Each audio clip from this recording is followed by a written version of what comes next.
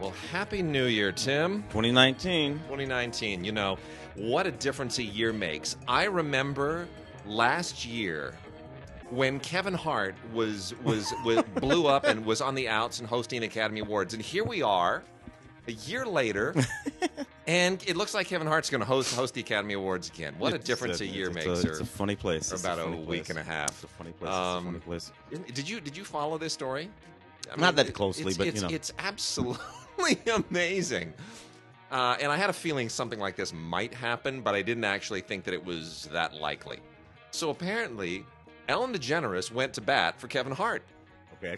and um, Ellen, uh, and and this by now, by the time this show runs, her her hour long interview with him on her show will will have aired, which was smart for her show, Mm. but also for her rep and for the Academy. I mean, like she she genuinely realized that there was a breach. So she stepped in and went and she talked to Kevin. She knows Kevin. You know, they're stand-ups. She Mhm. knows his heart.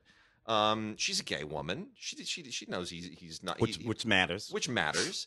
And uh, so she figured she's the person who can sort of bridge this divide. There's a miscommunication, and she went to the academy and said, um, "Would you still be interested in having Kevin?"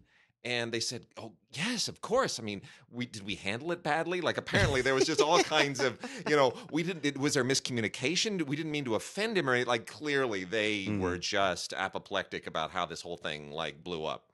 And uh, so now, uh, as of this recording, Kevin is reconsidering. He's reconsidering. It's it's it's interesting that the he ball does. is in his court. Yeah. Uh, because you know per- perceptually the ball the else, ball man. was in the ball was in uh, the Academy's court. Uh, you know, I mean, other than Ellen, And, and and they've got nobody else. And the other thing is because of the Kevin Hart situation, and and it, whether or not he did this intentionally and played it right, I don't know.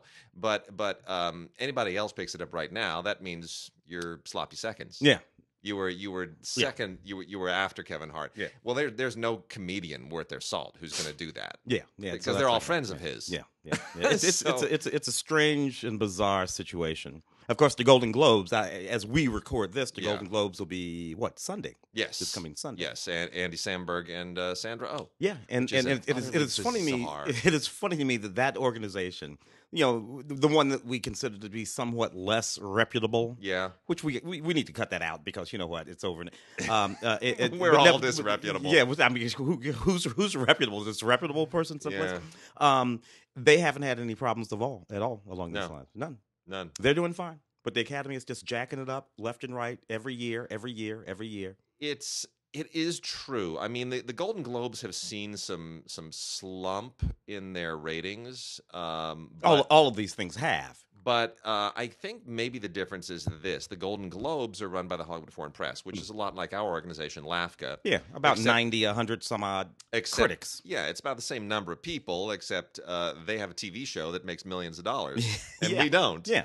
Uh, which is interesting. And uh, the Academy, on the other hand, is an organization of about what are they up to? About eight, nine, ten thousand people now. Yeah, uh, uh, And- uh, uh, uh, industry professionals, not not journalists. And they have a lot of expenditures over the years. They oh, they have film programs, they have scholarships, they have the uh, student film program. They've got uh, giant buildings and a library and archives to maintain and Mhm. salaries to pay. I mean, they you know the Academy has a has a a billion dollar museum they're finishing up right now. yeah, over on Wilshire. Yeah, Uh, so there's a there's a lot in uh, there's a lot that hinges on the ratings of their show, whereas the Golden Globes figure, you know, if the show makes us twenty million or thirty million, that's you know what we- we're a nonprofit. We'll, we'll just uh, mm-hmm. that's just more for somebody. well, well, yeah, yeah, and, and therein lies the problem with the Gold Yeah. Globe. Sometimes Yeah. there was a while there where they even got kicked off the air yeah, for a while because it looked like it looked like the situation was if you showed up to the Golden Globes, they'd give you a Golden Globe. yeah,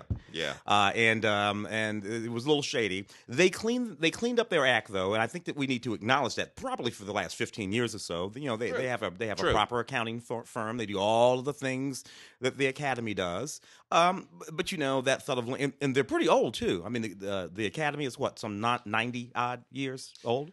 Uh, the Yeah. Academy was formed in well, the first Academy Awards were 1927, so I want to say that we were they were formed about 26. Okay, so so so so so Uh, so so clocking.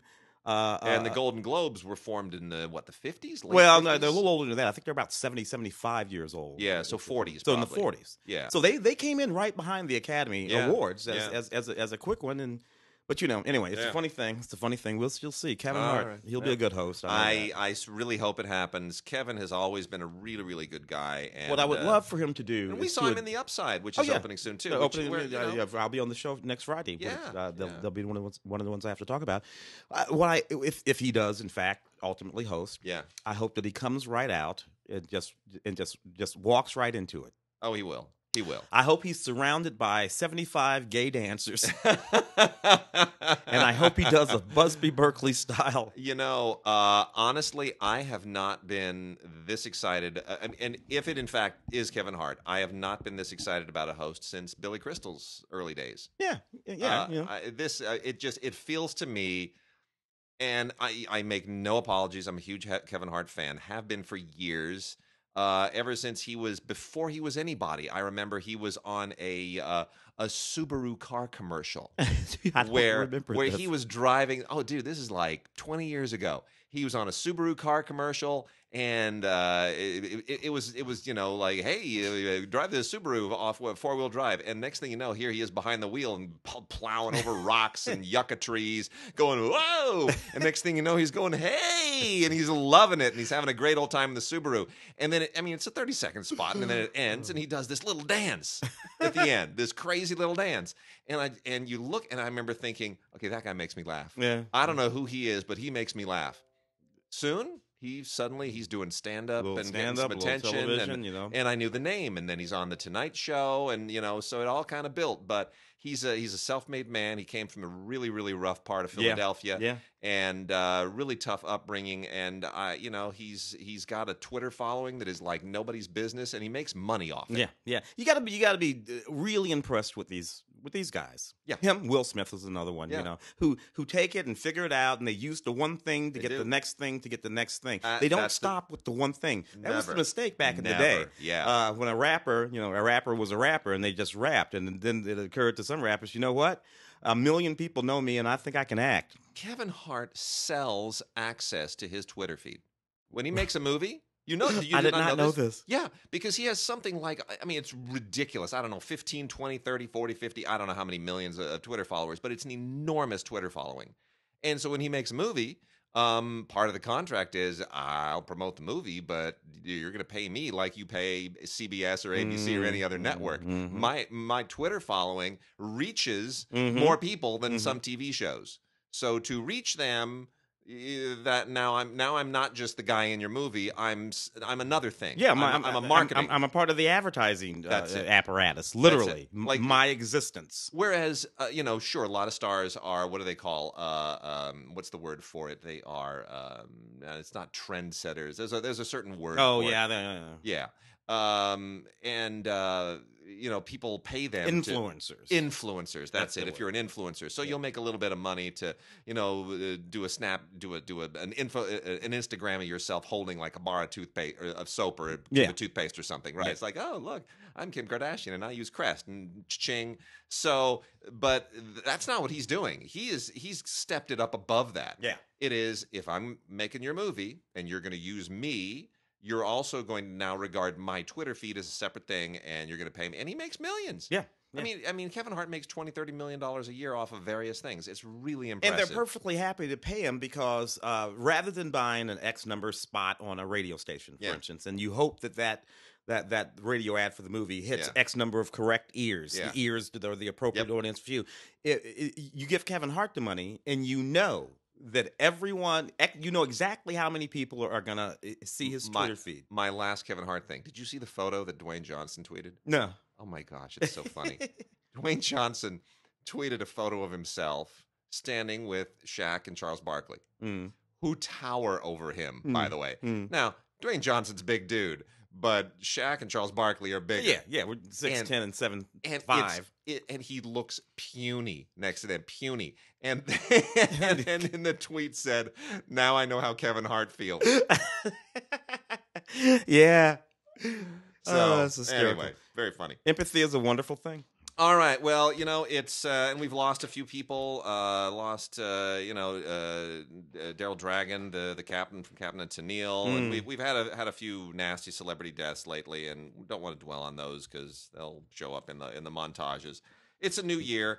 I do want to say. Uh, I, I had given up on watching the Rose Parade for years and years and years, but my second year of watching Cord and Tish is so much fun. Uh, Uh, Will know- Ferrell and uh, and I, I don't know why Netflix let him go because they went on Netflix last year. Now it's on Funny or Die, which, Yeah. which Will Ferrell is a co-owner of. oh So yeah, so smart. so- that so- might be why though. That could be. Um, I'm just surprised the contract didn't didn't you know outline them for several years, but uh, that is just so damn funny. And and my wife hates it. She thinks it's so stupid. She says it's not funny. They're trying too hard. They're trying to be funny. It's not funny. And I'm just sitting there in tears because they. Did, did you watch it? Oh yeah, the shtick with, with Tim Meadows Yes, and back and forth, and then Tim Meadows is always eating a sandwich. It was and then so he's good to see Yeah, Tim I'm gonna leave early. I'm gonna go uh, down. I'm you know I, I'm getting an award at the lodge. I did, it's just so damn funny. I love everything about it. yeah, and it's almost all improvised. Will Ferrell's uh, fear of horses. It's just the best thing in the world. Uh, so anyway, I'm gonna start off. I'm gonna hit a bunch of anime here real quickly Alrighty. because we have uh, stuff just piled up over the end of the year, and there's a lot of stuff you need to know about. Uh, Witch Hunter Robin, the complete series. Uh, this is actually really, really fun, super well animated, and not so complicated that uh, I can't uh, really understand what's going on, which is very often a problem with anime for me. Is like I, you walk into these universes and there's just all kinds of stuff going on. Yeah. In fact, there's a today on Film Week. Uh, I'm doing Film Week today as well. Uh, today on Film Week, we're talking about a Chinese film called Mojin. Dude, I swear, so help me, they've jumped the shark uh, again in the Chinese film industry. This thing makes no sense whatsoever. Mojin. We'll be talking about it on the show, I'm sure, and when it comes out on uh, on Blu-ray. Anyway, uh, Witch Hunter Robin, the complete series, centers around Robin Sena and uh, this is all about um, it's it's less about like traditional witches and more kind of like uh, Men in Blackish, and we got a new Mm. Men in Black film coming, Coming out soon yeah. too. So th- this is a little bit in that scene. So these, you know, she, she's got a partner, and uh, they uh, it, it gets into the you know the supernatural kind of spy genre in some degree. And then we have a Kino's Journey, the animated series, The Beautiful World. Um, this kind of falls into the um, the travel log uh, genre of anime, um, journeying around the world and uh, you know visiting different places and having various adventures. You know, a few days in each place and whatnot. Um, really, a, kind of an interesting um, interesting story and saga. Um, it involves a talking motorcycle Mm-hmm. which is kind of weird and a little bit speed buggy, but that's okay. Uh, so you know, Speed uh, buggy. it's a little. you remember speed buggy? Oh man, you just uh, total I'm flashback sorry. right then. That's all I Oh, remember from Speed Buggy. Um, real quickly, Black Clover season one, part two. We talked about Black Clover some a while ago. This is, uh, you know, the uh, everything. It, things continue with the Wizard King and uh, the hero Asta, who's very much in the Joseph Campbell mold. And um, you know, it goes on to the. Uh, it's it's very Lord of the Rings, the Diamond Kingdom, and all this stuff. It's actually kind of fun. Black Clover. I think they're doing a live action thing of that. Oh really? Angel Links, the complete series. Uh, a little bit less excited about this. Uh, this is, uh, you know, uh, all uh, kind of space. Um, it, uh, what's be- better? Space swashbuckling. Oh, okay. You know- as opposed to, as opposed to space opera. Yeah, space swashbuckling is what it is. Pirates and uh, you know, sixteen-year-old Mei Fan Lee, who's uh, you know, a bit of a bit of a a, a, a firecracker of a hero.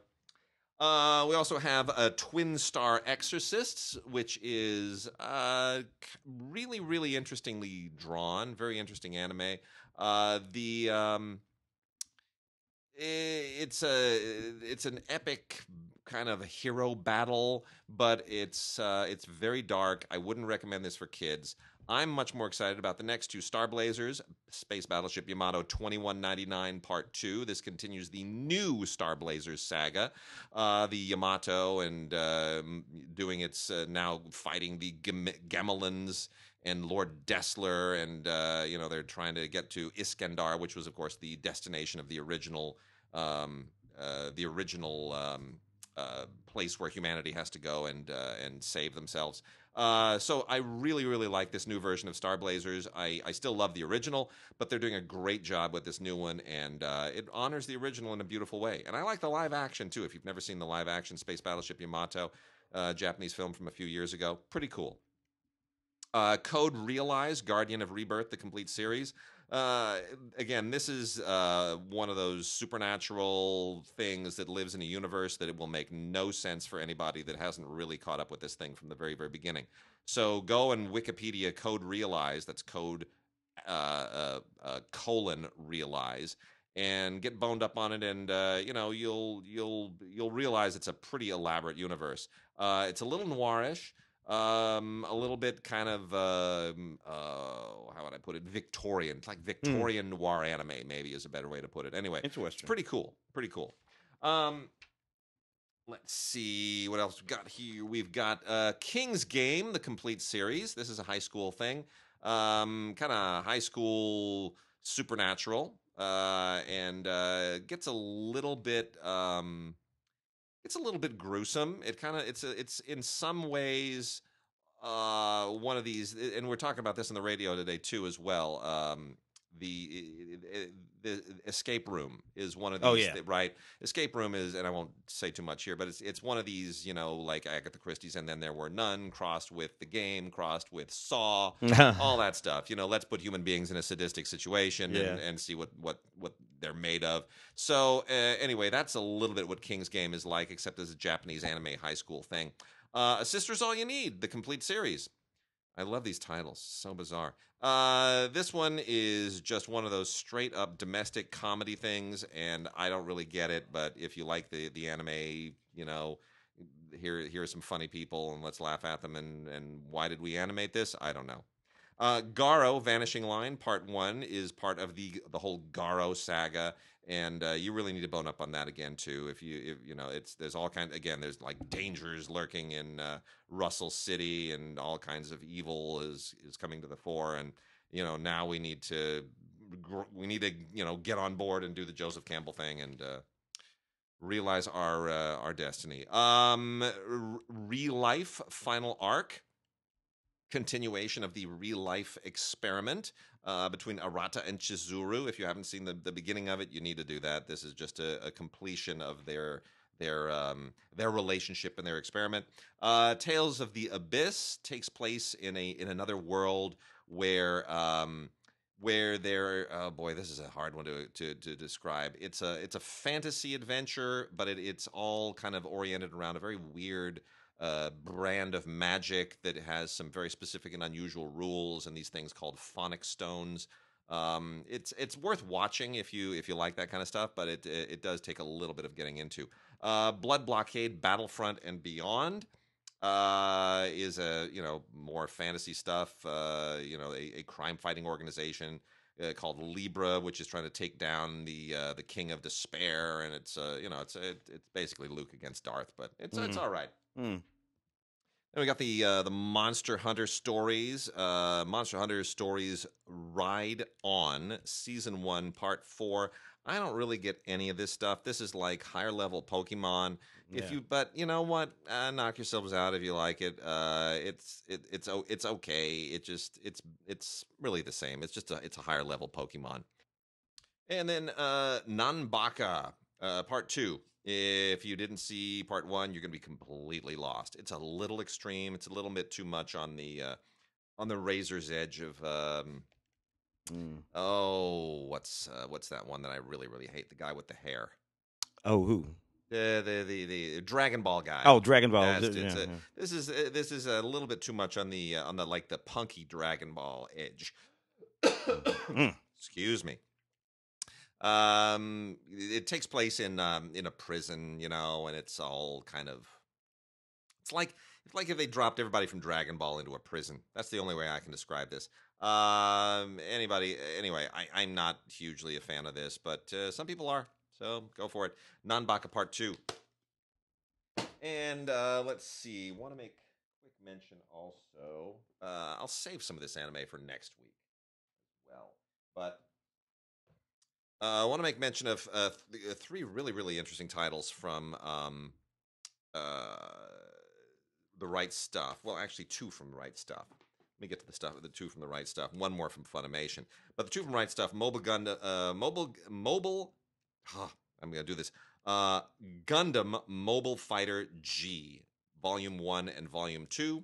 Um, Mobile Fighter G. This is part of the endless Gundam universe, and uh, this all takes place now in uh, Century 60, and uh, centers around a Gundam fight tournament. Gundam. And I'm gonna normally I would say bone up on your Gundam, but you kind of don't. This is very very self-contained, and it's actually really really inter- interesting. It's uh, it's it reminded me of. Did you ever see the old martial arts films, Kill or Be Killed and Oh, yeah. Kill and Kill Again? Oh, yeah. with James Ryan, the uh, the the New Zealand um, gymnast who became kind of a martial arts Yeah. thing for a moment or two. Yeah, but early So- nineties. Uh, Mid-nineties, yeah. eh, yeah, something like that. Mm. It's uh, I want to say eighties, Oh, eighties, mid yeah. more mid eighties. Okay. Anyway, um, actually, really, really kind of fun. Actually, um, those movies have not aged terribly well, but this Yeah. is this is a little bit uh, in that kind of vein, except with with in with Gundam stuff. You know, with the whole uh, with the suits and the. Uh, and the all the, the the gear and the weapons, and it's actually really a lot of fun. I'm surprised they haven't done this before. Um, you know, better than Transformers, that's for sure. So uh, you get uh, 24 episodes on uh, episodes 1 through 24 on volume 1, and then 25 through 49 on volume 2. And there are even uh, some commercials on here and, uh, and a lot of fun stuff. So uh, this is some of the better Gundam stuff that I've seen in a long time because it it, uh, it manages to be so self-contained and is not so completely immersed in the Gundam universe that you need to reference a lot of other stuff. So uh, that's Mobile Fighter Mobile Fighter G volumes one and two uh, from the right from Right Stuf. And uh, you want to actually go and get that at the Right Stuf um, site. And the Right Stuf site is uh, rightstufanime.com. And that's stuff with one F. Rightstufanime.com. One F. Uh, go there and, uh, and check that stuff out. That's the best place to go. Tim, let's go into new movies. Let's do some new movies. Yep. Alrighty. Some of this stuff uh, is actually pretty daggum new, Yeah. Uh, in, including some stuff that we were considering. Oh, uh, you know, man. some of the in some of the some of the stuff. weeks. That one right there that you have in White your Boy hands Rick. was supposed to be an award contender. It yeah, that's not. what I was thinking about. Some of these, uh, you know, how they did not seem to quite make the It cut. White Boy out. Rick, of course, uh, Matthew McConaughey. True story. True story, uh, and, and a kid named Richie Merritt. Uh, this was, you know, this kid, this kid's uh, uh, Richie Merritt saw the debuting film. He's playing, he's playing the the uh, titular character, White Boy Rick. Uh, Matthew McConaughey plays his father. True story of this kid who became a police informant back in the eighties. Yep.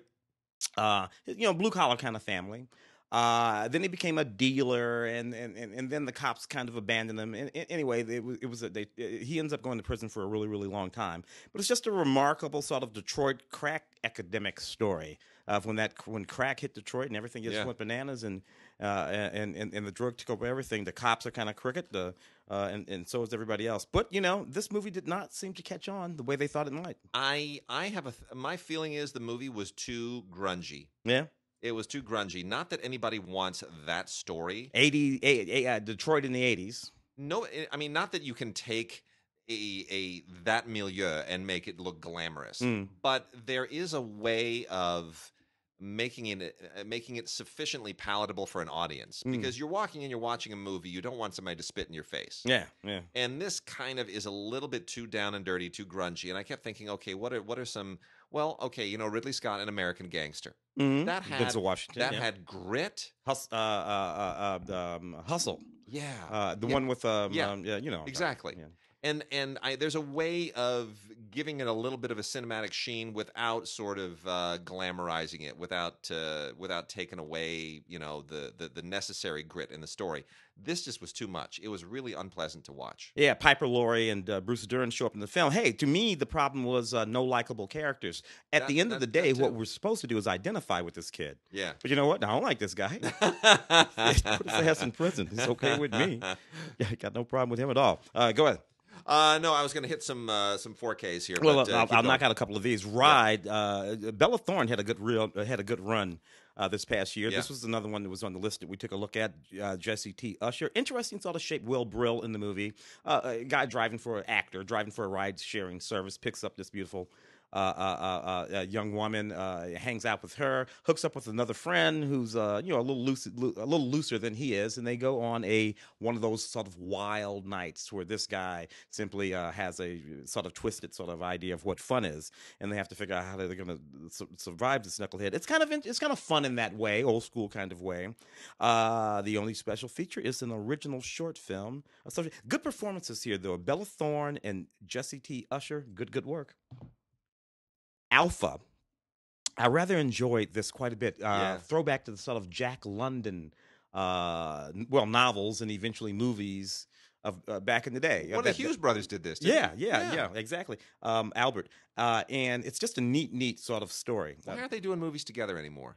you know, I don't know. I don't. Although you know, maybe they just want to go their own. They, they didn't. They didn't want to Coen brother up. You know, Yeah. uh, uh, one of those kind of things. I, I want. I have my own sort of set of ideas. Yeah. Um, so this is a movie set during the Ice Age. Young man goes out hunting with the with the with the Alpha tribe. yeah. Uh, he gets injured, and you know, as, as it happens back in the day, is left for dead. He survives, hooks up with a wolf, a lone wolf, also abandoned by its pack, and he and this wolf forge their way. And I got to tell you, this was moving again. Jack London, all those Ethan Hawke movies that got that White Fang and all of that. Yep. We're we're right there with this. It's really a lovely movie. It was not a movie that we were talking about much this year in terms of um, award stuff. I think that's not really fair because this is pretty cool. And anyway, this includes the director's cut and the original theatrical version, Nice. uh, as well as several other special features. So check that out if you can. Slender Man. So the story of the Slender Man popped up. I don't know a couple of. I guess it's been around a really really long creepy. time. It's That- very creepy. a- and, and those girls. Yeah, who Oh. actually en- engaged in, in, in, in- So anyway, these people uh, took that little actual news item about this character that became an internet meme called the Slender Man, which actually led to some fairly tragic things happening. They took that uh, and and devised this little story, which I suppose is sort of. I don't know, Blair Witch esque or something like that. Uh, basically, it's a small town in Massachusetts. You have these friends. They do this ritual uh, because they want to actually debunk the lore of the Slender Man. But then one of them goes missing, and the, the, the question is, did they actually invoke the Slender Man and uh, and get one of themselves killed? It's you know, it's uh, it's a creepy story in real life. I don't know if th- this movie is as creepy as what actually happened. That thing you got there next is, Uh, is bananas. Obamaland, rise of the Trump uh, Trumpublicans. Is that what it says? that is that is a bananas low budget, really bad, but kind of entertainingly bad. movie. remotely entertaining, but it's so badly written. They sent a. I forgot to bring it, but they sent us one of those caps. Oh, really? Thank you. Uh, Make America Not Great Again is what it says with the, with the red, red cap with the thing in it.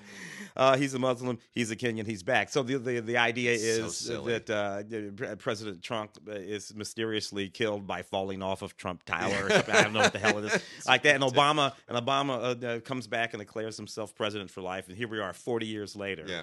Uh, in a in a And there's a revolution in the making with the revolution Trump to public. try to try to bring him It's down. Uh, yeah, crazy. you know, because we live we live in a, gu- a gunless, godless America renamed Obama land. It's just bizarre. It's nuts, and it's actually not very good. it's just silly. yeah, yeah, it's this is- silly. This is one of those rev- uh, uh, re- revenge, uh, the uh, the the the attack killer tomatoes kind Yeah, of things, yeah. right? Where you just sort of laugh it off and you just go, You can't- you can't- "Bravo for just going out there and letting it all hang out." It's Yeah. terrible, but you know you have no shame, and Yeah, there's a, yeah, the- that, that's the thing. politics of stupid. I rather enjoyed the Equalizer 2, Denzel's follow up to the Equalizer. It's not like the equal, It's, equalizer. it's better It's, than it's the better Equalizer. than the yeah. By uh, far. which is which was which was sort of you know interesting to me. Um, uh, same guy playing the same guy. He's living Yeah. in this apartment complex.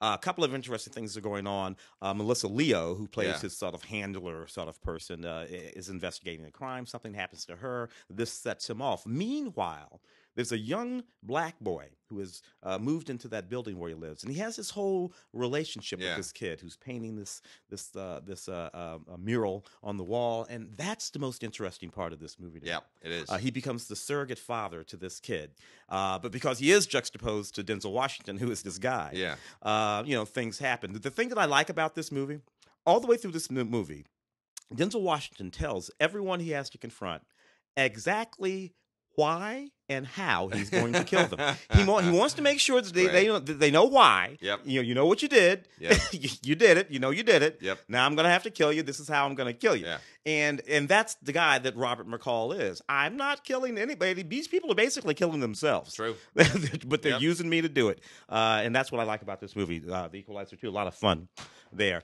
Assassination Nation. This was sort of like the Purge. I mean, it, it- you know, it's not it's not the greatest movie in the world, but I kind of like the girl power thing that's going on. They, It- they put the, the guns in the girls' hands. It it had a it had a bit of a thing that helped you get over the hurdle of how derivative and kind Yeah. of exploitative a it little bit of. Mean Girls, a little bit of the Purge, but you know, Yeah. uh, but it's not. You know, the politics aren't all that goofy. And hey, hot chicks with guns, I'm okay with that. I just don't have any problem with that. I'm sorry. That is good. That was good when I was 14. yeah.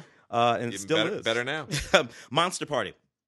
I don't know. This was this was sort of weird too. Not particularly good. Either these um, uh, people posing as caterers at this big fancy mansion out in Malibu are really thieves. They're going to case the place and rob the place. What they don't know is that all of the people at the party at the mansion are sort of quote unquote recovering serial killers. Yeah. Huh? Uh, and one of them just can't stop himself.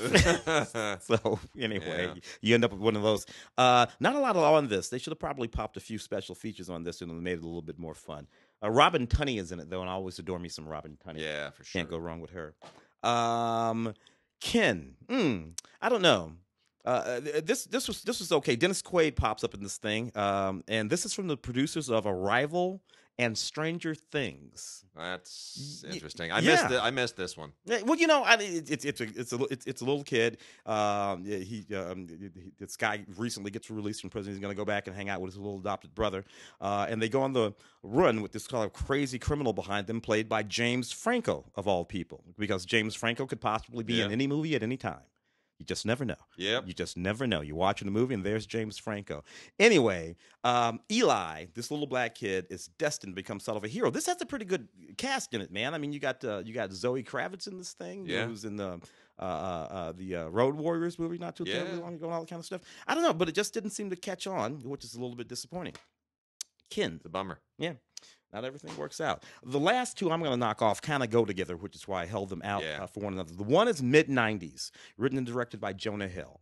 Uh, about more or less his semi autobiographical experiences as a sort Yep. of punk skateboard kid in the mid 90s. Which I never would have thought of him. yeah, you know, because frankly, you know, big kid for a skateboard. Yeah. Uh, but nevertheless, that's that period I know. I you know, this is Yeah. all post me. Yeah. But I remember watching these kids. I it would have remember been mid seventies. yeah, yeah, Yeah. For yeah, for us.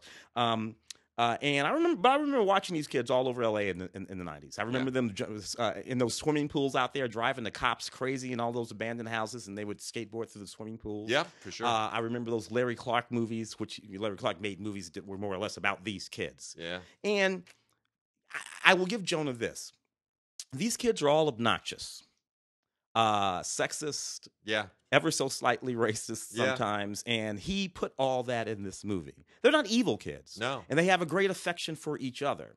But as human beings in the world, they weren't the best humans in the world, and I and I appreciate it. I appreciate that he knew that. Didn't pull his punches. he didn't pull his punches It's- about who they were. it's not the greatest movie. I would have. I, I had hoped that his his you know directing debut would have been a little bit more uh, ambitious. Um, I thought it might have been an awards contender. It, it turned out And not to go. be. There- there- But yeah. but it's uh it, it- it's worth watching. Yeah, it's yeah. it's worth watching. It's- I appreciate uh, it. It captures a moment, Yeah. that's for sure. Interesting to me that the last movie I'm going to talk about with this group, Skate Kitchen, a film by Crystal Moselle, is the exact same film in reverse.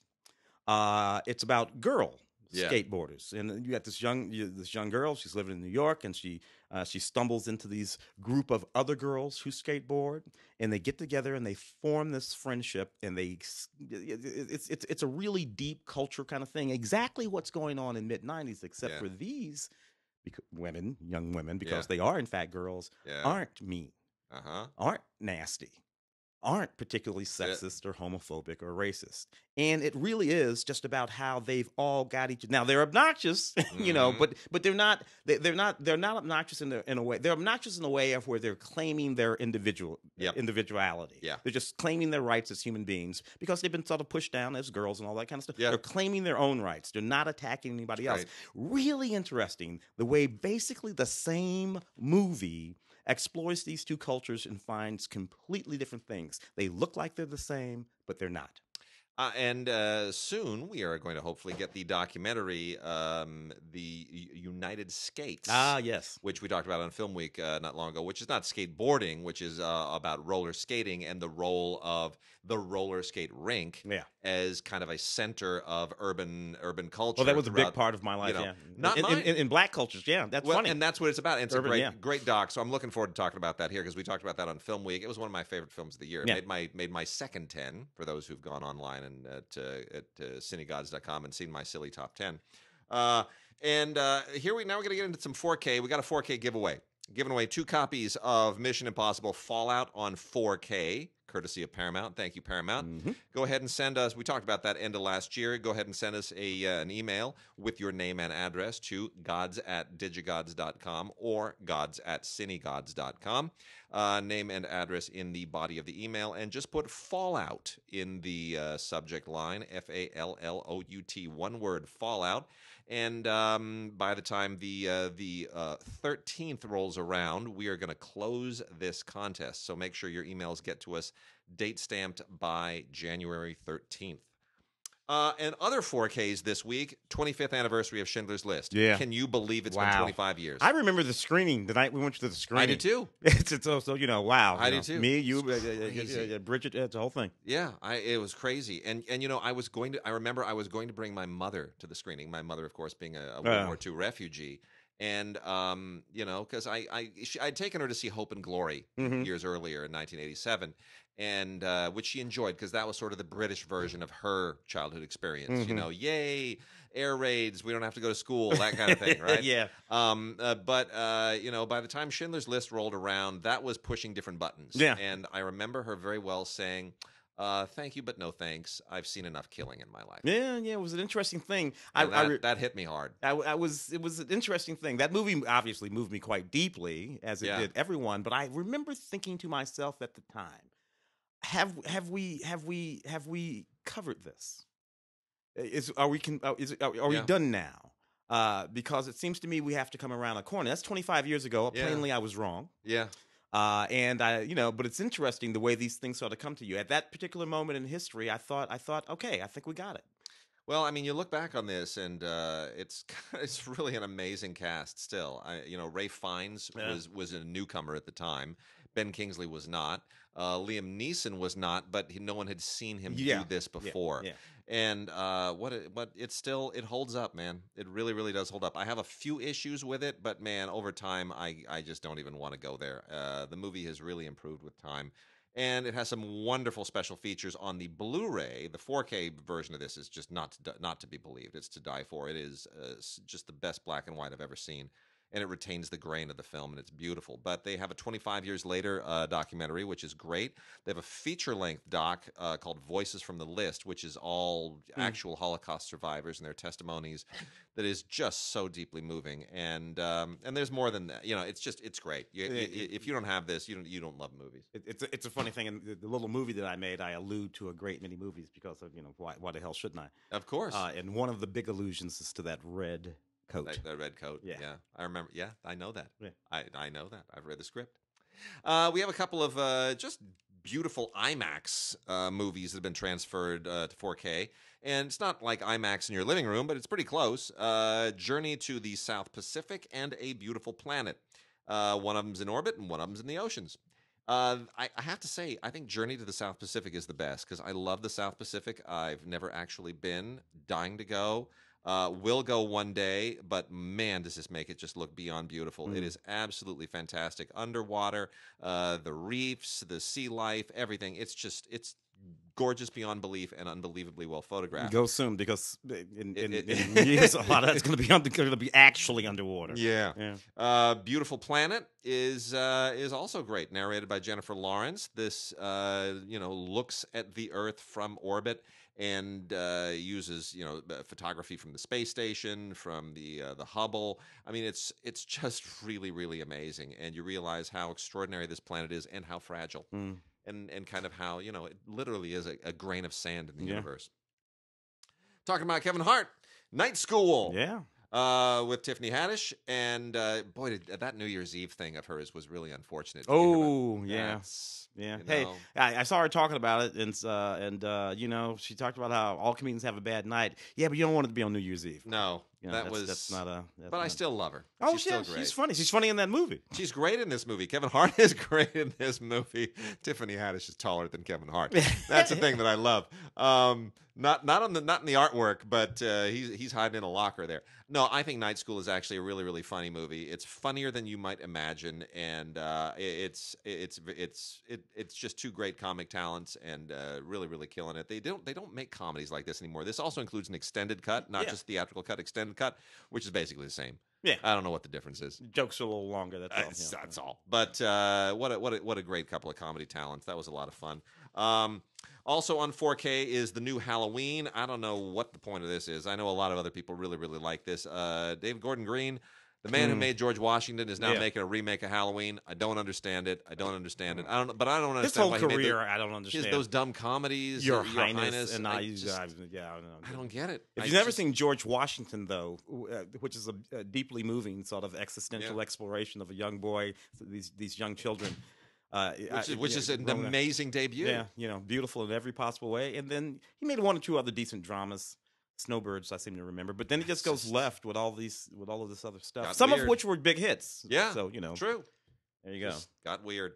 Uh, and then uh, we also oh we, we have an interview by the way that we're going to have at the end of the show. We have an interview. Mm. You're gonna you're all going to be very excited. It ties into a documentary that we're going to talk about. But stay tuned.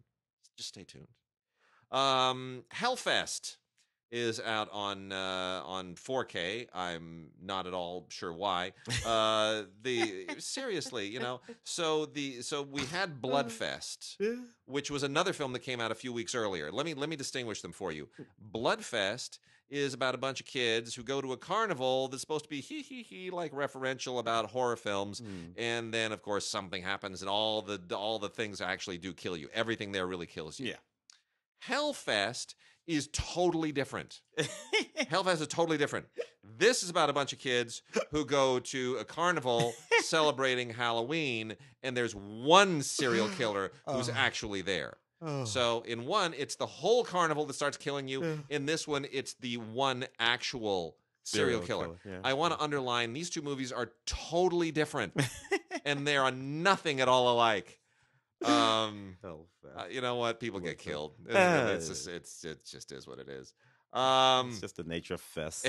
it's just so you have stupid. a fest, somebody's gonna get killed. It's just so stupid. Um, let's go into some catalog titles real quickly. Um, TwilightTimeMovies.com. That's where you go for your Twilight Time fix. And uh, Twilight Time over the last few weeks has released a lot of great stuff. A lot of really great stuff. Uh, Satan Never Sleeps. Uh, is a is a really really un kind of a lost film in many respects. Uh, uh, it, it, it, this is a Leo McCarey movie from 1962, the last film that Leo McCarey ever uh, directed, and uh, a really unsung, uh, lost performance by William Holden in it, along with Clifton Webb, who are um, a couple of um, a couple of American priests in China during the revolution, while in taking place in 1949, when you know communism is sweeping China and the uh, the Chinese Republic is falling, and um, there's a there's a, a bit of a silly. Um, uh, there's a, a bit of a silly uh, romance in this thing that reminds me a little bit too much of Love is a Many Splendored Thing. However, William Holden is more appealing than Humphrey Bogart is in that. Mm. And instead of uh, uh, having a white actress play Asian, they actually have France Nuyen Mm-hmm. play the part. So that I appreciated because France Nuyen was great on Star Trek. If anybody ever saw that in Elaan of Troyius, oh my gosh, she was great, fantastic. But uh, anyway, the uh, that's a little bit silly, but nonetheless, it's um, considering that it's based on a really bad novel by Pearl S. Buck, it makes for a pretty good film, and that's mainly because of Leo McCarey. Hmm.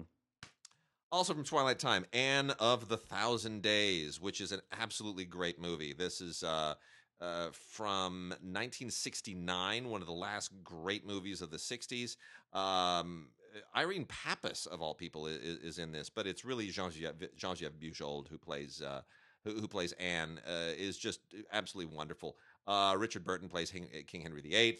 Uh, Jean-Geneviève Bujold is Anne Boleyn. And uh, Charles Jarrott directs the daylights out of this thing. It's a really, really terrific period film.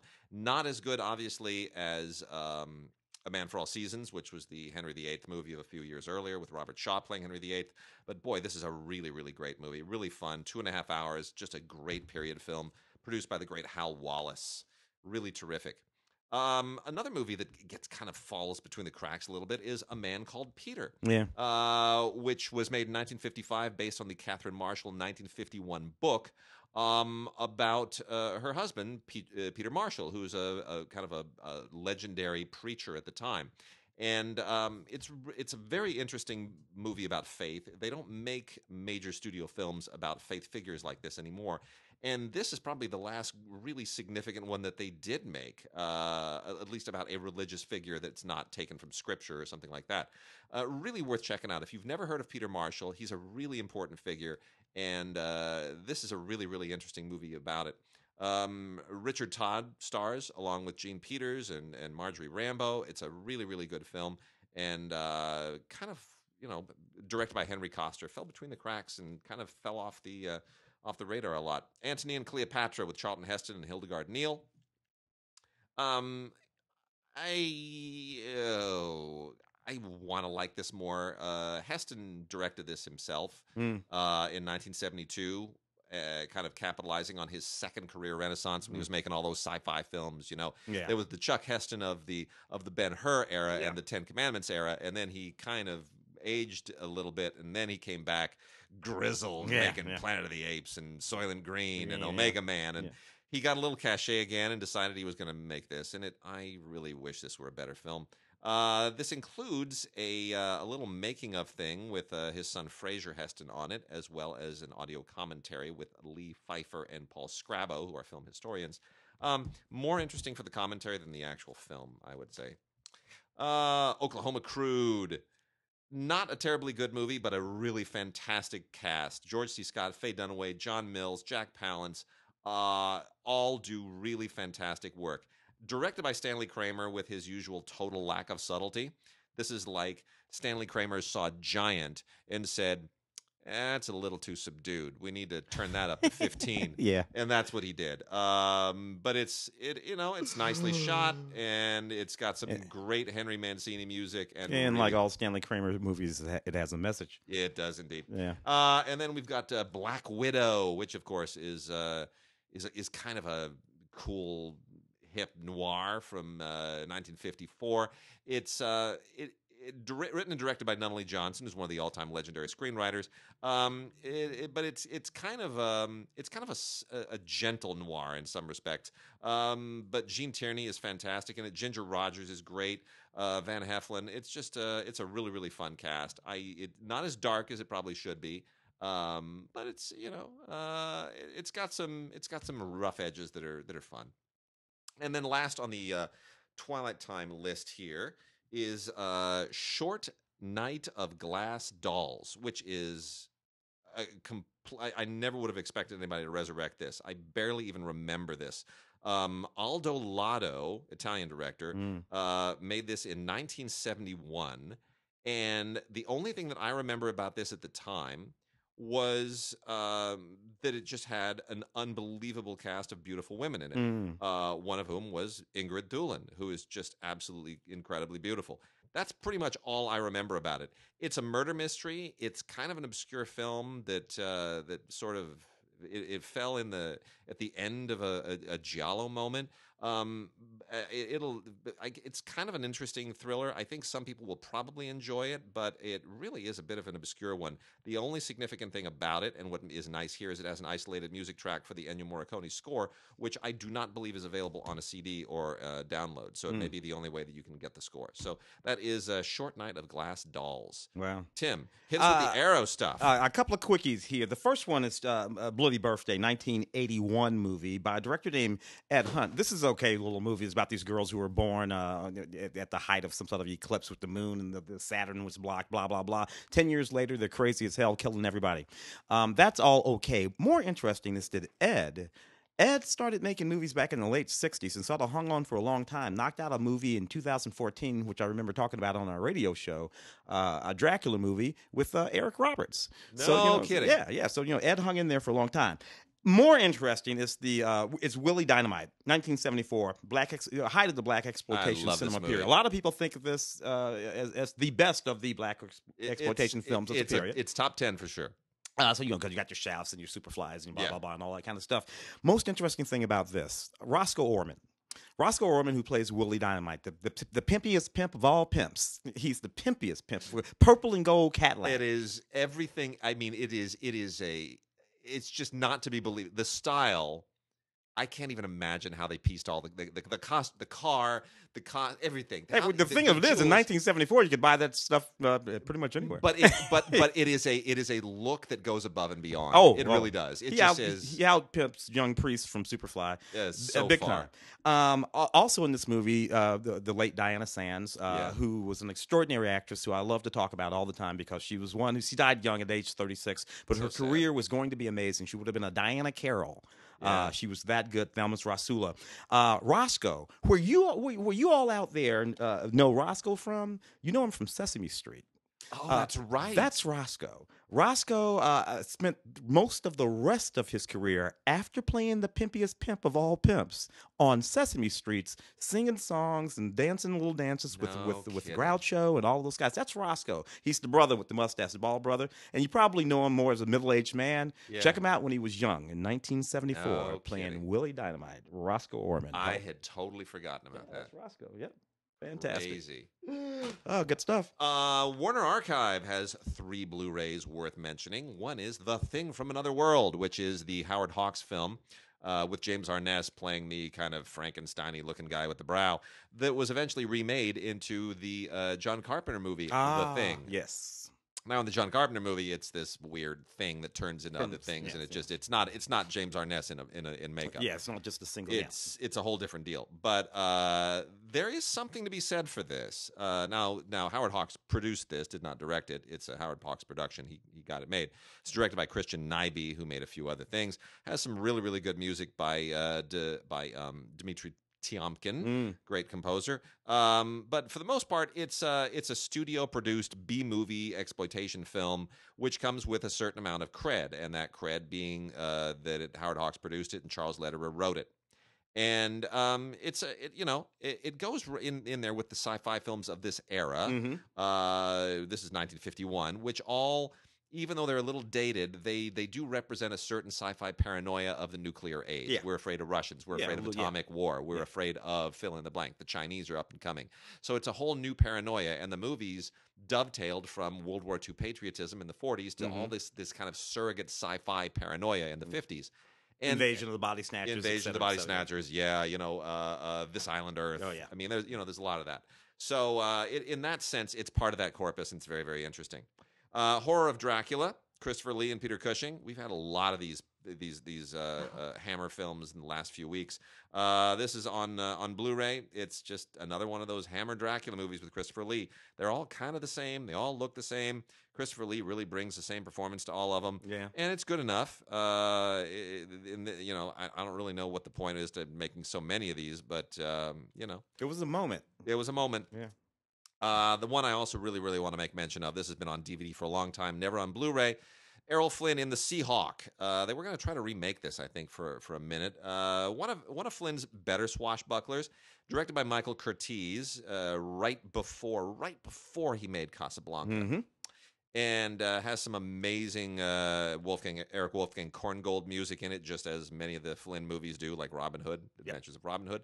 And uh, this also had a screenplay co-written by Howard Koch, whose son, uh, otherwise known as Hawk Koch, Mhm. oddly enough, Seahawk Hawk Yeah. Koch, uh, was uh, uh, head of the Academy a couple of times in the in the '90s. So. Um, some great special features on here, including a uh, Warner Night at the Movies, 1940, hosted by our friend Leonard Maltin, and then some newsreels and a Porky Pig uh, animated short. And then there's also a featurette on uh, on uh, Errol Flynn and the Seahawk. It's a really fun swashbuckler. It's definitely worth checking out.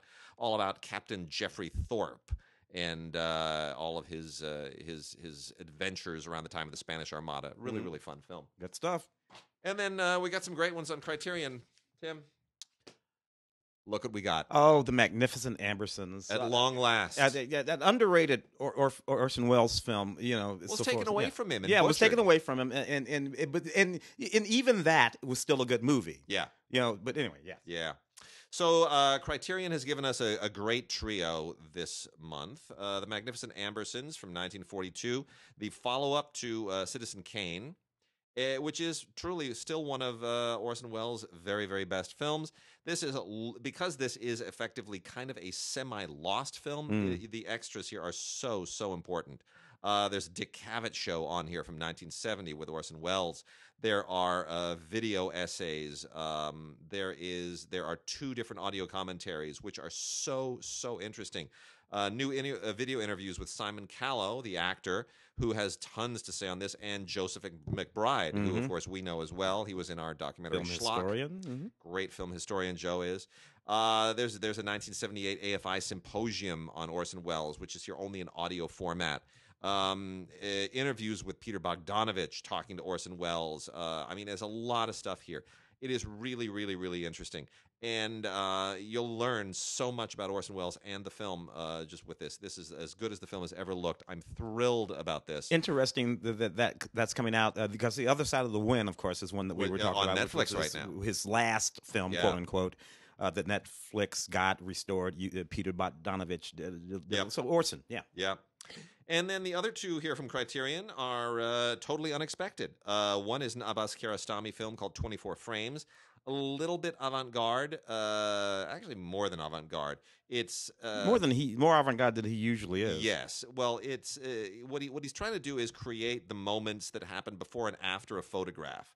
And so he takes 24 different images and then he um, does this kind of uh, animation. He animates these vignettes for each one. It's um I remember Mark saw this at uh, at Cannes Mm. and uh, hated it absolutely with a passion.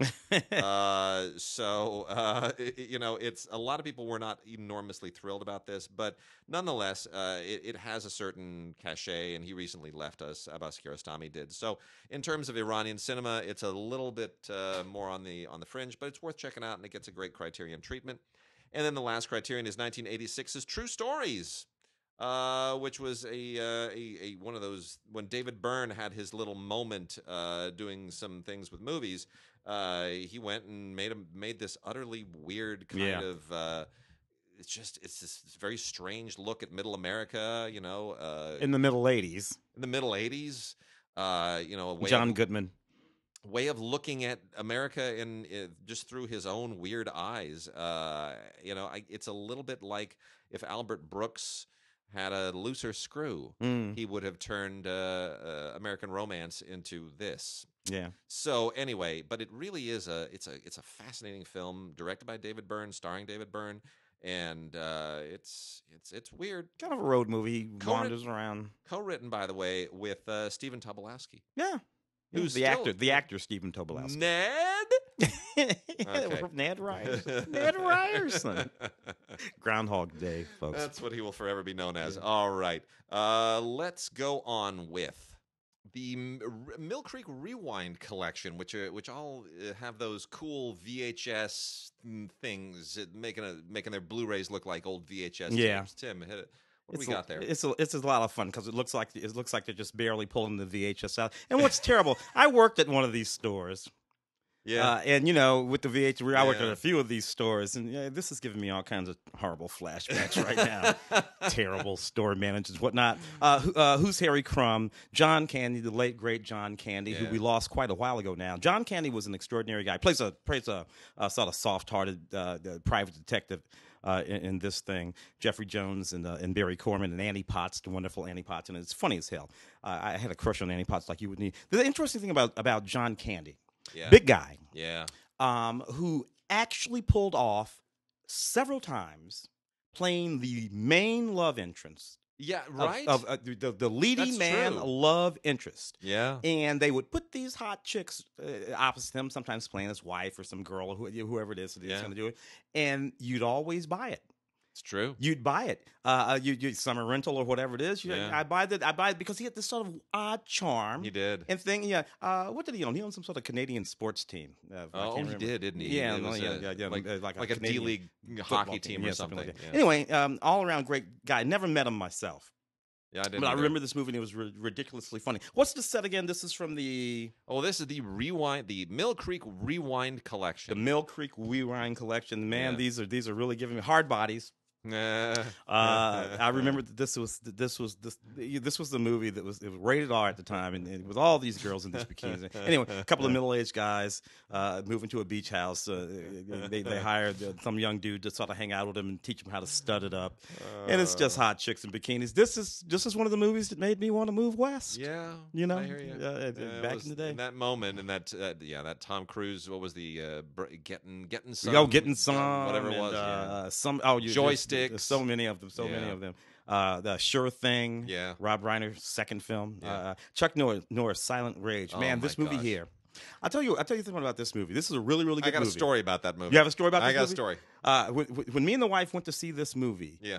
First of all, we love this movie. Uh huh. Uh, this movie, despite the fact it's a sci-fi movie about uh, there's some wacky doctors doing this uh, experiment on on this uh, uh, corpse, and they turn him into this guy, and he's running Yeah. around this little town. Chuck Norris with this big fat goofy deputy, and, and bodies dropping everywhere, and all this kind of. And Chuck has to go after this guy, and he keeps killing this guy, but he just won't die. Because he's got the serum from the mad scientist. Yeah, and um, and you know, and it's the simplest thing in the world, but damn it, don't- it just It's- works. So, so I saw this uh, at the time. I was part of this club. It was like the Columbia Preview Club or something. So, whenever they needed to get a focus group on a movie ahead of time to know how it might test, Yeah. th- then I get my little thing in the mail. Hey, come on down to the, The mail. Come on down for a screening at the Columbia Preview Club, and we get you know free swag and stuff. And you go in, and, and it was always on the Warner lot. I don't know why. They were Columbia movies. Mm. I think it was, but they were always on the Warner lot anyway. So go over there, and I remember very well. We were sitting in that screening room in what is it, Building Thirty Eight or Yeah. whatever. You know, the, you know the one over Yeah. off of uh, uh, on that one side, and. um uh, we go we go in and we sit there and and I brought several friends who were also you know we could each bring a guest and then some of my friends were members of the club as well so I think there were maybe four or five of us and um, it, it didn't start well. Uh, some of us sat closer to the screen than the others, and there were these jokes going on ahead of time, like you know, uh, "Ooh, I was looking at the left side of the screen, I missed that. right? We were, you know, we were just being dumb teenagers. and and when the movie came on, we were thrilled because it was a Chuck Norris movie. We were Chuck fans. We're like, yeah, like the Octagon. And then suddenly, this guy who looks like Mick Jagger gets an injection of serum and becomes Superman, and he won't die. And Chuck's, you know, dragging him behind. He's shooting him with a shotgun and dragging him behind trucks and all the rest of this. And uh, the guy just keeps coming. It- and it just, hon- it, honestly, it was about halfway through the movie. Everyone in the theater, probably about 40 or 50 people in this screening room, everybody's talking at the screen. Making jokes. Uh oh, who's around the corner? It's just it went completely off the rails. The thing is, we all like the movie. We all, it, it- it's completely insane. yeah, Uh, but you you can't. And then it has that great last scene. Uh, and, and, Yeah. and, and, and the movie's pretty pretty old, folks. So, I, so I'm sorry if I'm going to blow this for you. yeah. Where the dude comes up and he throws down the, well, and that and that's great, freeze frame. yeah, And I, I'm thinking to myself, well, that sequel, fabulous. Never sequel. happened. Never happened. yeah. Never happened. And I just don't get it. By the way, they've been running this thing on television, uh, 1982 film. They've Yeah. been running this thing on television about every 20 minutes Yeah. for the last couple of weeks. So every time, I, you, I, in my apartment, I have like 15 televisions on at all Oh, times. It's too funny. So about every 20 minutes, I run into one of those. Happy birthday to me. Uh, I remember this one too from way back Yeah, in the I day, 1981 film, uh, horror movie. Um, uh, look, uh, uh, this is this this is uh, the best of this particular genre. This is Yeah. okay. It's not. You know, there were a lot better ones than this uh, that were made. But you know, uh, birth- birthday girl. She she has an accident. She, she suffers from these blackouts, and the question is, uh, is she going to become the next killer or something like that? I don't know. Whatever. It's okay. Not one of the best. Um, these last two, Krull. I particularly wanted to save uh, this and the next one because, for one thing, I absolutely loved Krull. Peter Yates directed this Peter and the, Yates and the dresser in the same year. Yeah, yeah. So weird. Uh, but there, that it was a period where space, not or space or futuristic sort of operas, Yeah. were happening. Yeah. Uh, and uh, hey, you know, I mean, uh, the Sean Connery made that weird one where he wore the big red diaper. Oh yeah, yeah, yeah, yeah. Uh, Uh, uh, uh. Zardoz, and all that kind of stuff. So this one, uh, uh, mystical time and place, all kinds of creatures. It's very much in the Star Wars pocket, in the Lord of the Rings pocket. It's that whole thing. And and look, I mean, it uh, it's kind of goofy, but it it's it, it, it's, It- it's it's still fun to watch. It's still fun to watch, and it has a great James Horner score. And Yep. I don't often say those words together. Yep, yep, yep, yep. And it's this is pre CGI. Yes. a lot of blue screen, green screen stuff going on here. Lots of makeup effects. Cyclops. Cyclops with that big Yeah. one eye and all that kind of stuff, and some swords and some sorcerers. And I just, uh, dude, sometimes I prefer it to. Yeah. Uh, give me, give me this over the Lord of the Rings. Um, 1993, Arnold Schwarzenegger, the last action hero. Now this Love movie this was movie. this this movie was a big flop, Love this movie. but I love it. Now I, I'm cheating. I love it. My wife's in it. yeah. So I love it because my wife's in it. Uh, but I love it anyway. And this movie has some of the funniest dialogue. Just just one-liners that are absolutely hysterical. And it's really wise because it's Schwarzenegger ref- and John McTiernan, Yes, John McTiernan. reflecting on this genre in a very kind of philosophical way. From all the way back in 1993. Yeah, Uh, uh, Charles Dance in this movie, fantastic. it takes Uh, and it, it's basically it's, Quinn. it's basically an action film version of Sherlock Jr., the old uh, Buster Keaton film. Yeah. and with a little bit from Purple Rose of Cairo and all that. You know, the the last action hero junket was one of the funniest things I ever attended. I was at, I was at that press day with my friend Bruce Kirkland, who's Mm. a film critic in Canada and a very very good film critic. And Bruce, you know, was a junkie guy. I mean, he he he he'd been uh, on the junkets forever. For you know, everybody knew him. And Schwartz and Bruce, being a Canadian, dresses like a Canadian. So he had he had some vest on that had kind of like native native Canadian uh, Oh, yeah, t- t- designs patterns, on yeah. it, patterns on it, right? So you know he owns he owns being a Canadian, and and Schwar- Schwarzenegger walks in, and he and the first thing he does is he walks up to Bruce, whom he's met before, and puts his hand out as if he's going to shake his hand, goes right past his hand to the vest and starts feeling starts feeling the fabric, and he says. That's a very nice curtain you're wearing. Do do they make it for men too? it's just It was brutal, but you know what? Everyone laughed. it was Bruce funny. laughed. It was Arnold being funny. Arnold, Yeah. and he owned the room. Uh, yeah, Arnold in 1991. I will tell you this: my wife told me that Arnold Schwarzenegger, because she had a scene with Arnold, that sometimes is i- i- when when they play this play the movie in uh, you know different versions, 'cause, you know, Yeah. different cuts. in it. Sometimes it's in the movie, sometimes it's not in the movie. Because she's playing a hooker in the movie, because all black actresses had to play hookers at that time. at that particular Yeah. time, she couldn't play anything else. She had a great scene with Arnold, uh, and and she and she told me that you know she used to hang out with Arnold and Arnold's uh, trainer, Yeah. And, and there was a whole little group of them, and she said that Arnold was always just a perfect gentleman, just Yeah. absolutely fantastic. I see so, that. so that there, there you go, Arnold. My wife says so. So we uh, we have an interview we're going to wrap the show out with. I want to hit a couple of docs, and then one of them will dovetail us into that interview. Uh, the first one is Love Gilda. Uh, beautiful, beautiful Magnolia doc about Gilda Radner, tribute to Gilda Radner, and of course Gene Wilder. Uh, and uh, really, uh, that, that's all there is to it, man. Uh, if you don't know who Gilda Radner was Yeah. or why you should care, one of the original uh, Not Ready for Primetime SNL players, uh, just a beautiful human being, a Yeah. funny woman, but Funny, a beautiful human being. Associated And- with Gene Wilder, and if you when you when you look at um, Amy Poehler, Yeah. um, any of the ladies, They would not Night exist but without for her. without but but for Gilda Radner. Lots of She- important that's ladies. Uh, but they are the offspring of Gilda Radner. she paved the way.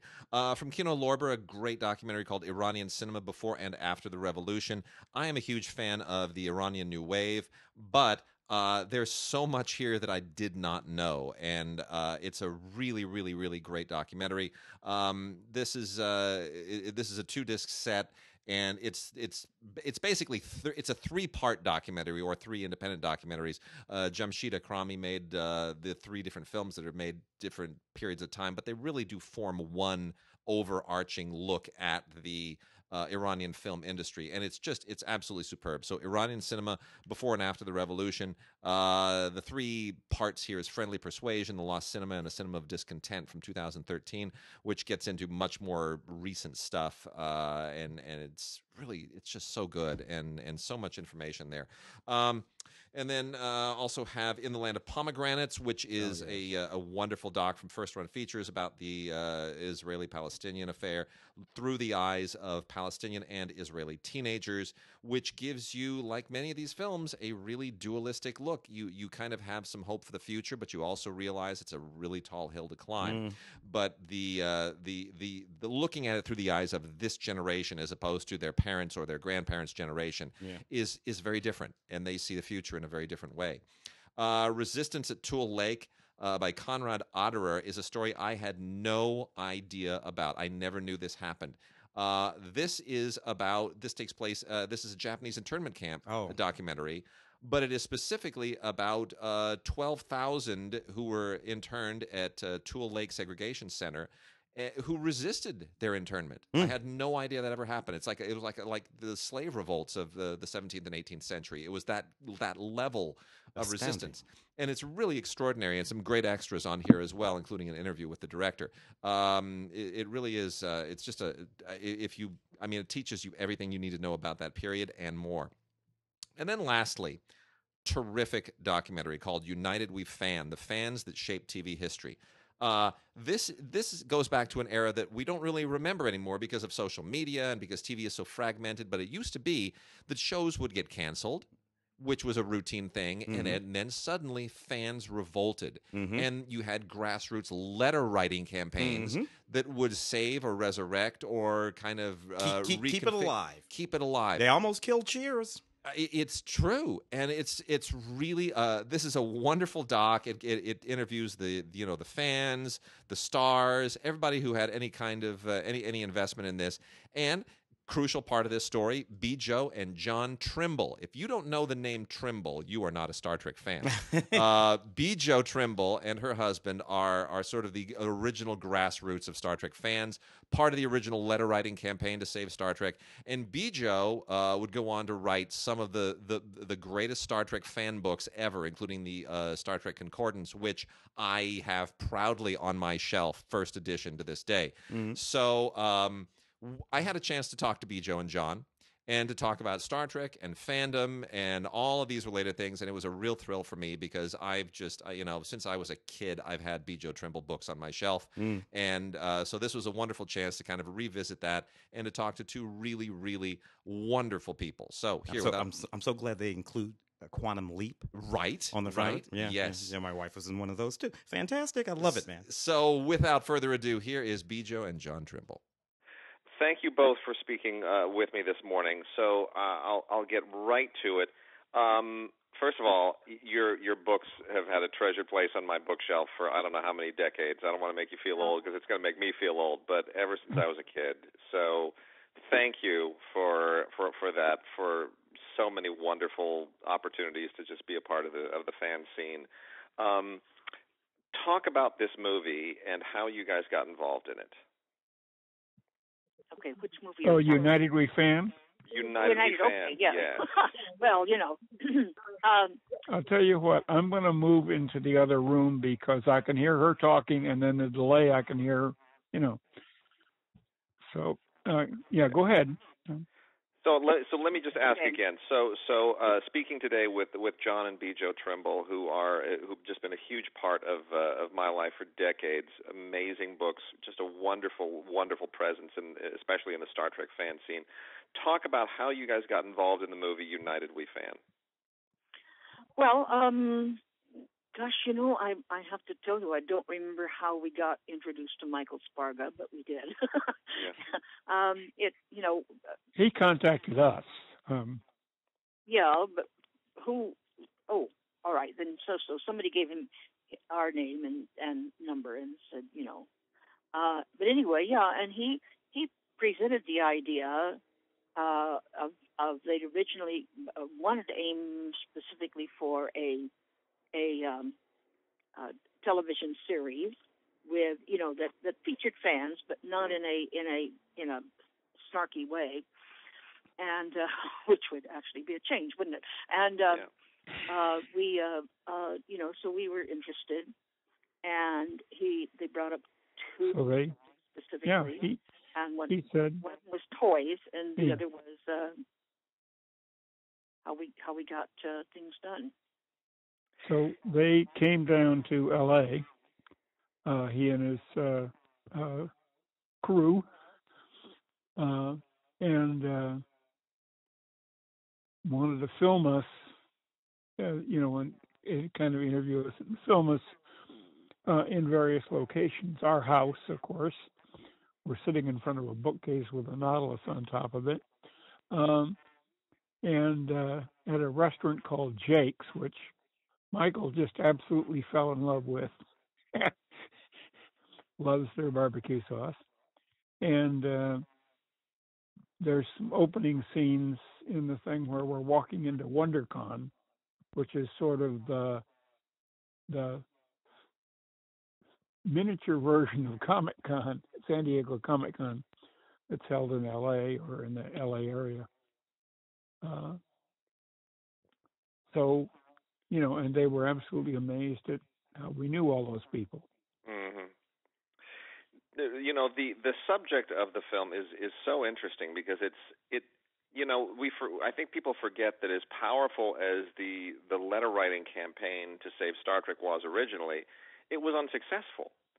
Uh, the show was still canceled, and uh, it was, Well- but it was the beginning of something else. It, it, it sort of, I mean, that was the first, wasn't it? Wasn't that the first time that there was really uh, people sense that there was a, a surge of fan support for for something outside of the world of just regular television viewers? Well, yeah, I, and I I would not I would say it was not unsuccessful. It the the campaign got the show a third season. Okay. If it hadn't had a third season by the standards of the 60s, it would not have gone into syndication. Wow. So because it had a third season, it went into syndication and has never been out of syndication since then. That's a great point. Yeah. What, what, you know, what what made you know what makes uh, what made Star Trek special in terms of the fan support relative to other shows, and did that mark a turning point? Do you think for that that has sort of brought us to where we are today? yes, uh, on uh, uh, all of the, yes to all of the above. Uh, for one thing, Star Trek was offering uh, mature science fiction, not yeet, there's another alien, let's kill it. Yeah. Um, and um, you know, which that was uh, used in many of the other television uh, series, and that was a whole, you know, a carryover from the um, uh, uh, old 1950s movies, you know. Right. Uh, And and, it uh, was Star Trek was the first adult uh, series science fiction on on television. There had been some, you know, the previous the shows that had been, uh, you know, uh, done for adults rather than kids Yeah. were uh, anthology shows. Uh, Twilight Zone. Uh, there were a couple of others that were done, uh, but they were one-offs. You know, that were done all through. This was the first time that anybody had done a a continuing series with a with the same cast of characters um, as in an adult way, and it really grabbed us. the the the discuss I know you know from people that I've spoken to um, who remember the executive ranks at the studios and the, and the networks back then. The the idea that people could be so attached to a TV show that they would they, they would engage in, in letter writing and, and lobbying was something that really caught a lot of them by surprise. They the the conventional wisdom up until Star Trek was well, you win some, you lose some, and the show's canceled, and you you know you shed a tear Yeah. and just and just and carry on. And and they they they didn't realize that uh, anything could so be, could could become such a central part of someone's life outside of just passing the time on a on a on an on an evening. And I I would argue that that's really when the Spielberg Lucas era began. That we wouldn't have gotten to Jaws or Star Wars or Close Encounters or E.T. without the understanding that there is that there is this kind of a fan base. Would you agree with that? I I think I would. Yeah. Yeah, to a degree. Um, I think that there were were always, uh, uh, you know, scary stories like uh, um, uh, Jaws or something, but um, and there were certainly the old horror things, but there was not a, a fan base that revealed itself. Now there was a huge fan base for like the horror movies and so on, but there they they just discussed it, be, you know, among, amongst themselves. There was never any reason for them to speak up about it, and um, so it was really kind of a of a novelty to uh, uh, to have people show such interest to show be so intense about it, and I don't think it was um, the uh, was expected at all. And um, you know, bless their heart, um, uh, the the powers that be were um, not at all uh, prepared for the the loud clamoring uh, from fans. Yeah. And of Yeah, course, we we surprised the empty suits is what we did. Yeah. yeah, that was about it. So, uh, but uh, you know, we we never thought about it like that. We knew that there had not been, if there had been any any former um, uh, you know uh, efforts like this, that it was really just a um, uh, pardon me uh, was it was um, not something that um, had made much of a splash.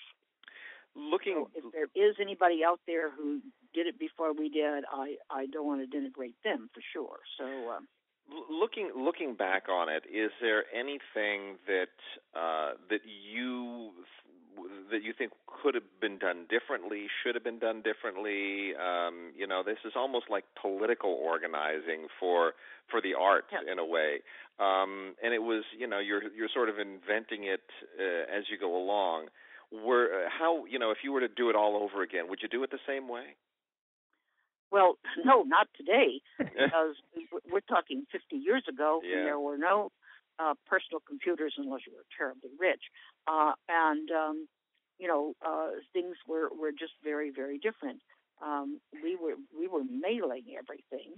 We were hand um, well hand addressing. Well, we were, We were doing it on mimeograph Hmm. uh, and uh, mailing everything out, and you know, asking people to write letters and ask copy the information and send it to 10 friends and have them write letters and have them do the same thing. So that and you don't have to do it that way these days.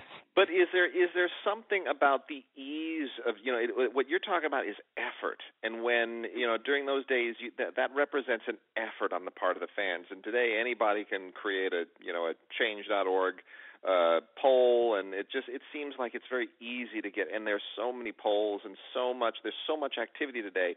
Is it easy to take it for granted? Do you think that the way that was done at the time with the letter writing campaign, that that, that the the amount of effort that clearly required made it special, made it stand out in ways that today it wouldn't?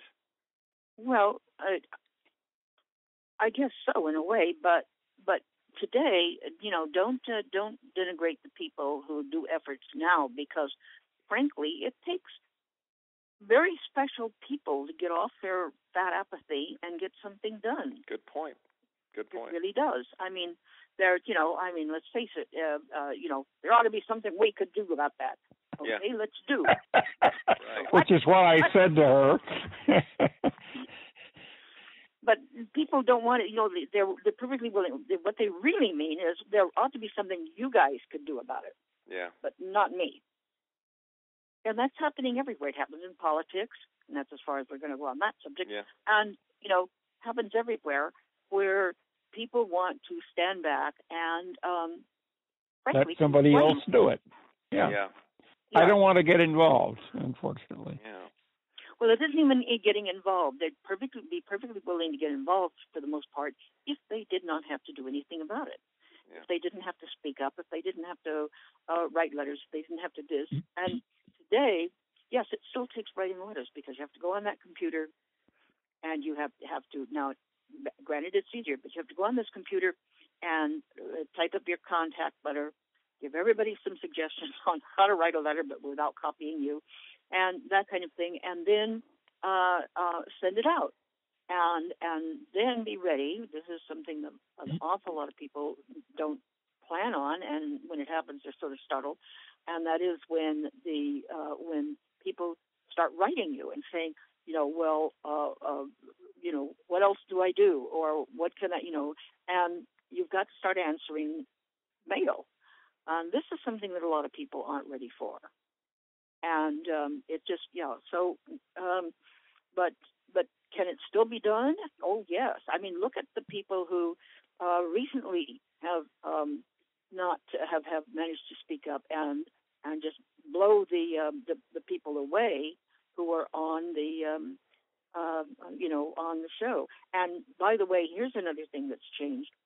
Back when we were doing it, uh, we couldn't even let Gene Roddenberry play through, and that drove him crazy because all producers are, um, are, are uh, you know, uh, control freaks, and um, the star, the actors were afraid to get involved because they felt it might be, um, uh, you know, detrimental to their career. Well, nowadays, evidently, they don't care because um, many of the newer campaigns we were very pleased to see had uh, the people that were involved in the show, the people who acted in the show, uh, helping out and and you know cheering them on and if and you know if nothing else just cheer, being cheered on helps a little bit.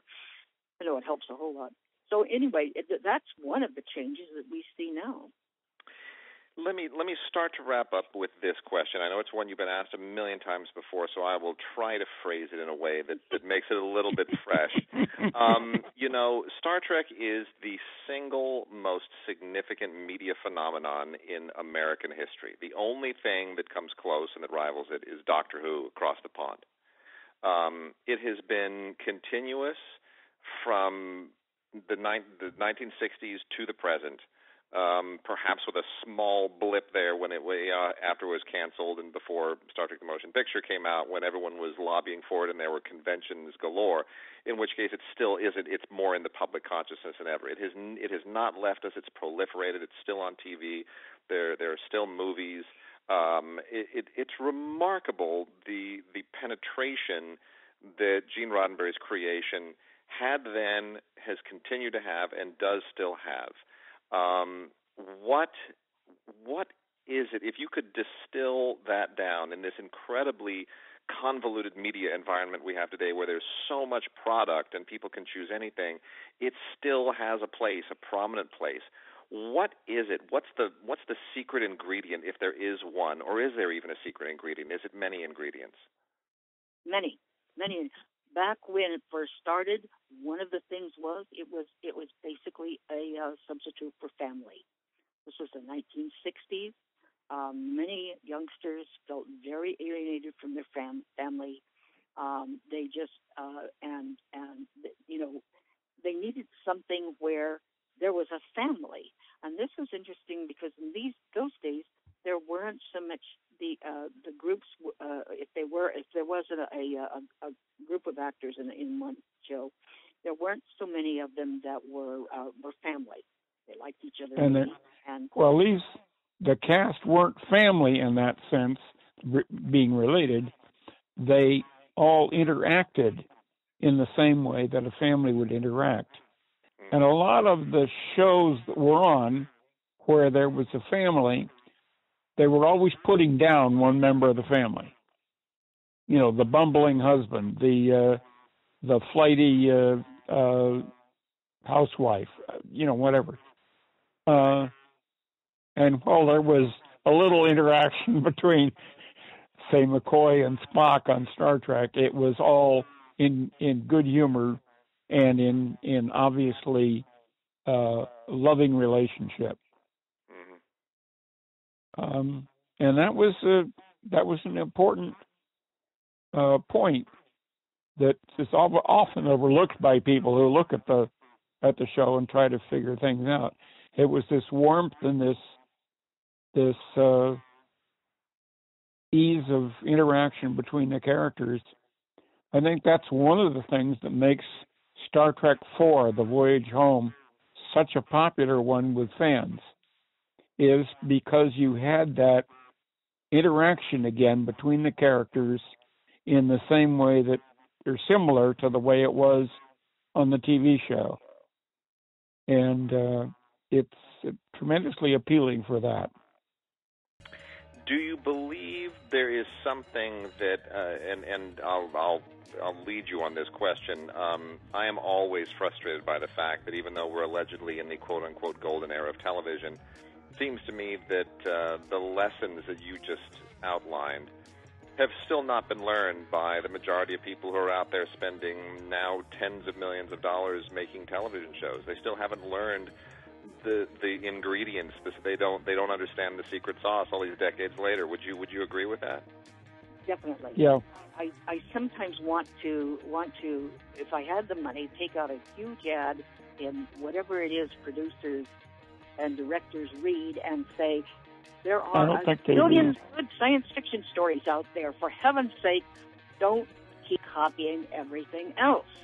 you know, but uh, it doesn't. You know, it's um, I don't I don't know if that would help me at all anyway. So, but Well, uh, it, it, it every little bit helps, and uh, it's it's just so great to to have this movie out there, to have you guys out there still carrying the torch. I cannot thank you enough, and um, thank you for speaking with us, and best of luck with everything.